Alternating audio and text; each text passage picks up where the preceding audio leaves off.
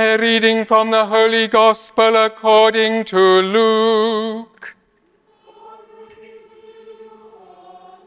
Thank you. Jesus said to his disciples, There is no need to be afraid, little flock, for it has pleased your Father to give you the kingdom. Sell your possessions and give alms. Get yourselves purses that do not wear out, treasure that will not fail you. In heaven, where no thief can reach it and no moth destroy it. For where your treasure is, there will your heart be also. See that you are dressed for action and have your lamps lit. Be like men waiting for their master to return from the wedding feast, ready to open the door as soon as he comes and knocks. Happy those servants whom the master finds awake when he comes. I tell you solemnly, he will put on an apron, sit them down at table, and wait on them. It may be in the second watch he comes, or in the third, but happy those servants if he finds them ready. You may be quite sure of this, that if the householder had known at what hour the burglar would come, he would not have let anyone break through the wall of his house. You too must stand ready, because the Son of Man is coming at an hour you do not expect. Peter said, Lord, do you mean this parable for us or for everyone? The Lord replied, What sort of steward then is faithful and wise enough for the master to place him over his household, to give them their allowance of food at the proper time? Happy that servant if his master's arrival finds him at this employment. I tell you truly, he will place him over everything he owns. But as for the servant who says to himself, My master is taking his time coming, and sets about beating the men servants and the maids, and eating and drinking and getting drunk. His master will come on a day he does not expect and at an hour he does not know. The master will cut him off and send him to the same fate as the unfaithful. The servant who knows what his master wants but has not even started to carry out this wish with his wishes will receive very many strokes of the lash. The one who did not know, but deserves to be beaten for what he has done, will receive fewer strokes. When a man has had a great deal given him, a great deal will be demanded of him.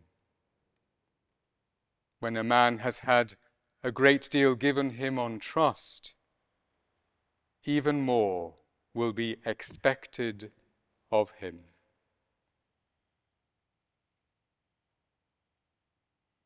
The Gospel of the Lord.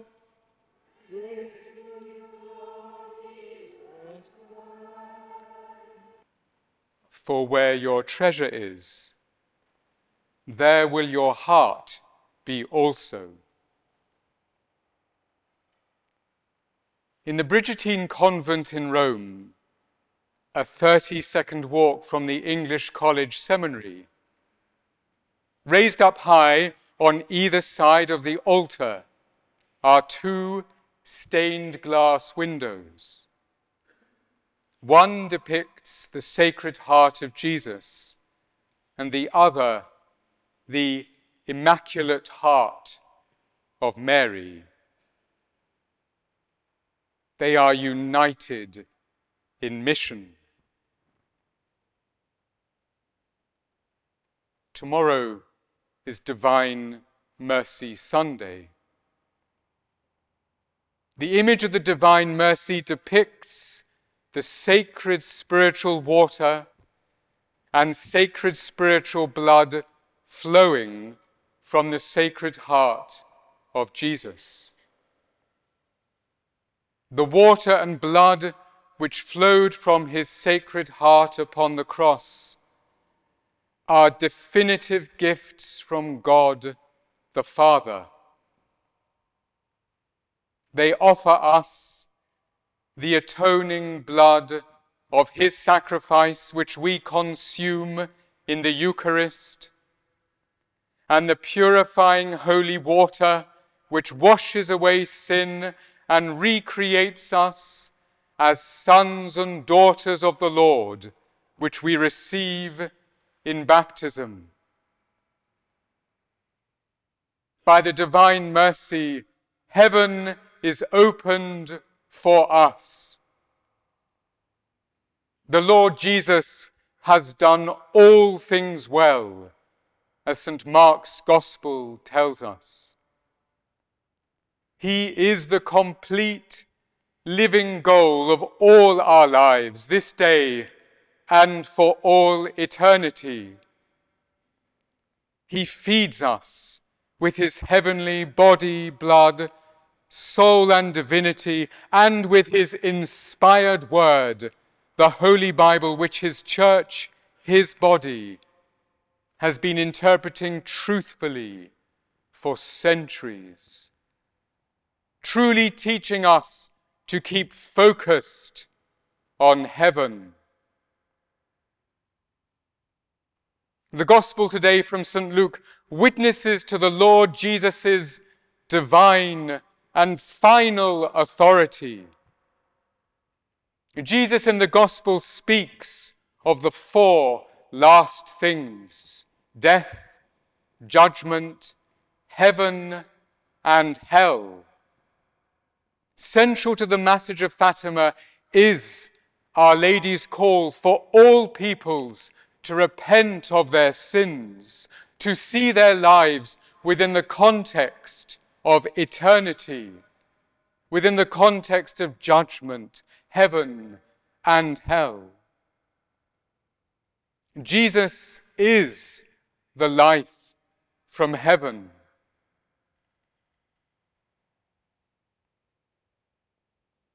But are we learning to be ever more open to His Sacred Heart and his mother's Immaculate Heart.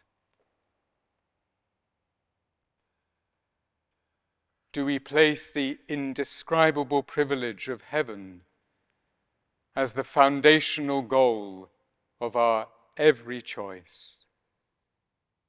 For where your treasure is, there will your heart be also. The gospel parable comes from a selection of teachings which focus on our death and judgment by the Lord. We have the man who stores up grain and wealth at the expense of his immortal soul. Next, Jesus warns us about becoming overly attached to our lives our bodies, food, clothing. What matters first is the soul and whether we are awake, whether we are ready to meet Jesus. What matters is the kingdom of God, the kingdom of heaven.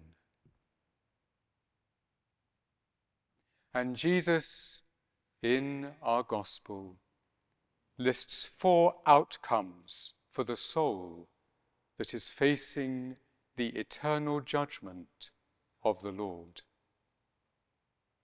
The first is the glory of heaven. Happy those servants whom the master finds awake when he comes. I tell you solemnly, he will put on an apron, sit them down at table, and wait on them. How beautifully this reminds us of Maundy Thursday, when Jesus puts on an apron and washes the feet of his disciples, ordaining them into his eternal priesthood of loving sacrifice, the way to heaven.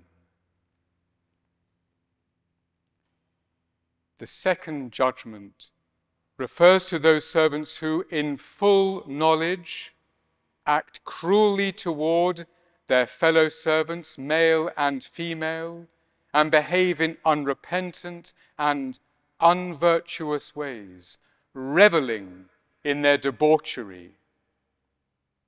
Theirs is the final destination of the unfaithful, hell.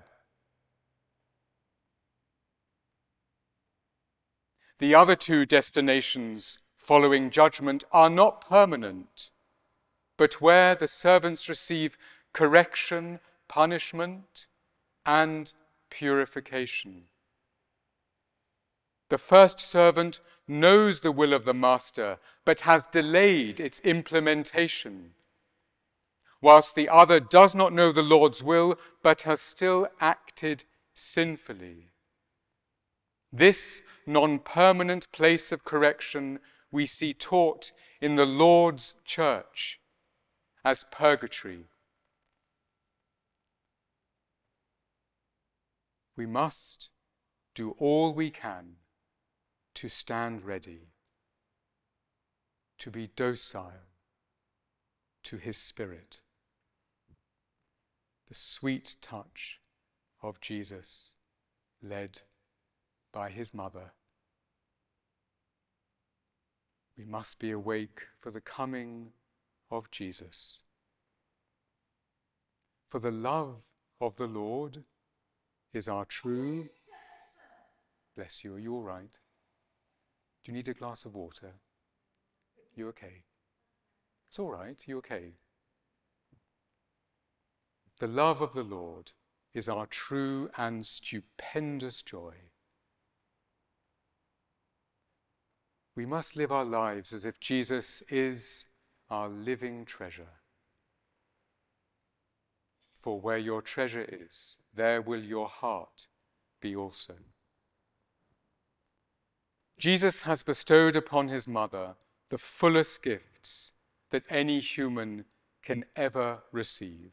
Such is her holiness, such is her sinless radiance that she can with her son's eternal pleasure, even command the sun to dance, as happened at Fatima on October the 13th, 1917.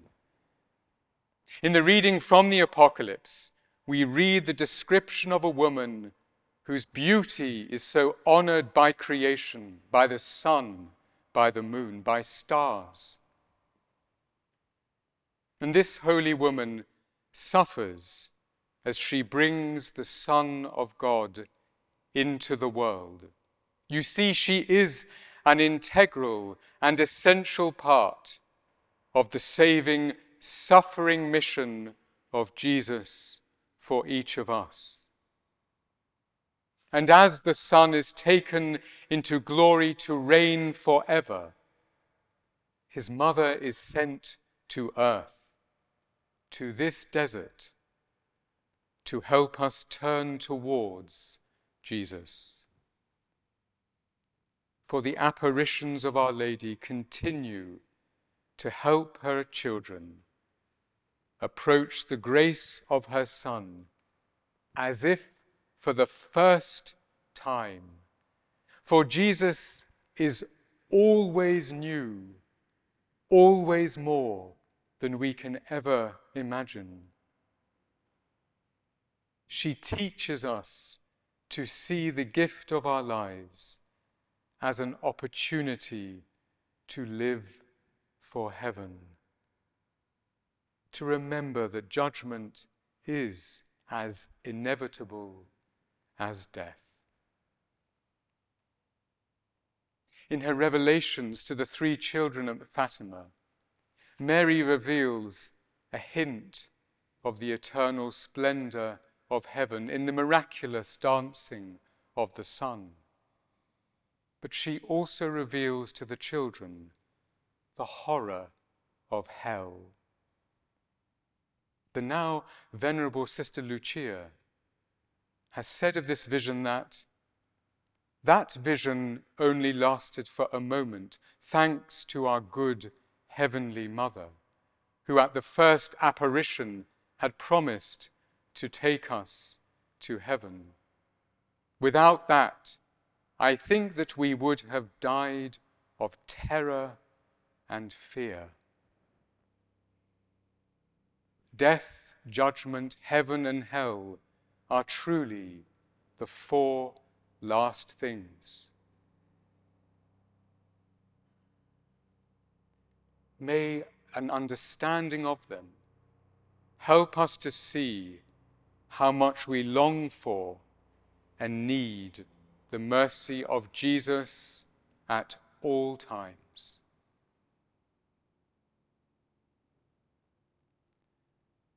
Tomorrow we will celebrate the divine mercy, the open and flowing sacred heart of Jesus offered to all. But today, the first Saturday of the month, we will make communions of reparation for the sins of the world with the Immaculate. Today we honor the Immaculate Heart of the Blessed Ever Virgin Mary, a heart which is depicted with a sword, for she invites us to pray for, to suffer for, to do penance for all those who offend the risen Lord. She, as our mother, comes to lead us all to the truth, Jesus, with such tenderness and heavenly beauty. And with this beauty growing in us, she longs for us to join her on this sacred mission. Will we put this sacred mission of heaven first? For that is where our treasure must be. by the prayers of Mary's Immaculate Heart, Our Lady of the Rosary, Our Lady of Fatima. May we live our lives truly within the beckoning, glorious judgment of our Lord, who thirsts to admit all into the mansions of heaven who thirsts to embrace all who will accept his forgiveness for their sins. As Jesus has risen triumphant, so the Immaculate Heart of Mary is also triumphant in bringing all those who yearn for truth, for Jesus, into the glories of heaven. May the sun, which never sets, Christ, the morning star, ever reveal the beauty of Mary, for she is the most beautiful creation of all heaven and earth. She is our Immaculate Mother.